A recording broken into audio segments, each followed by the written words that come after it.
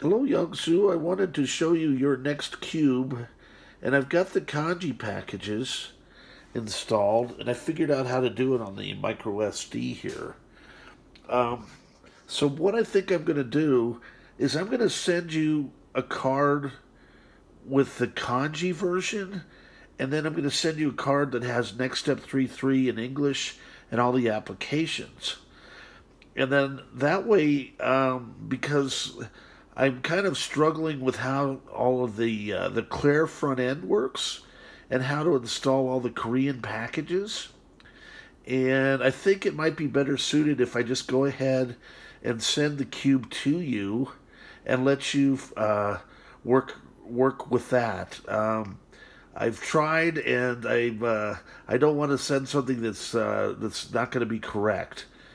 Um, I really appreciate your business and patience and I'm going to go ahead and upload this video and um, hopefully uh, that will be a good solution for you. As I say, um, I, have shown that it does work on the SCSI 2 SD, which is great, and it's just a matter of configuring it. And because I'm overcoming a learning curve, and I don't speak uh, Japanese or Korean, I think it'll be easier for you to set it up because it looks like it's pretty intensive as to how you have to go through and uh, map all the different characters to the keyboards. And uh, that's something that's beyond my scope of uh, ability right now, although it's very interesting.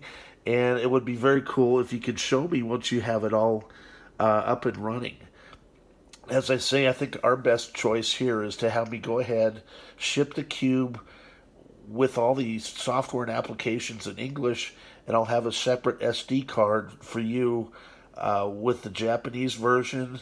And I'm going to burn some uh, CDs so you'll have uh, the ISOs ready uh, for the Japanese version, as and then uh, for the Korean packages, um, you should be able to um, uh, burn those to ISO as well. As I say, I haven't done this before, and I've tried, and I uh, I think it's just better because I don't want to delay you having your cube any longer. I've tried here, and I think that's our best solution. Appreciate your business and patience, and have a great day.